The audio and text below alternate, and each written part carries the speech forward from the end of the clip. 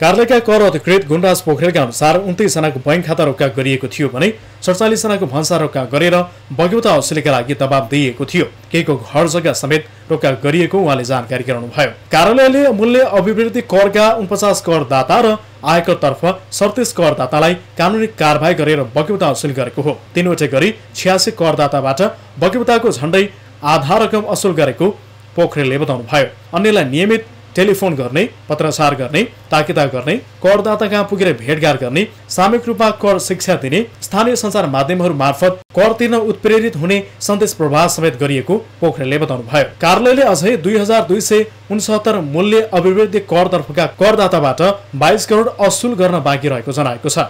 यसै गरी एक हजार जनताबाट बाह्र करोड रुपियाँ आयकर असुली गर्न बाँकी रहेको पोखरेलले बताउनु भएको छ।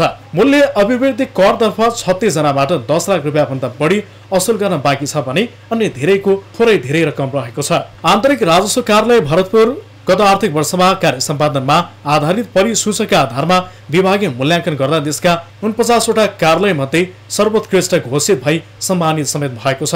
कार्यालयका प्रमुख टेकाराम भूषालले बक्यौता असुलीमा समेत लक्ष्यभन्दा राम्रो काम गर्न कार्यालय सफल भएको बताउनुभयो।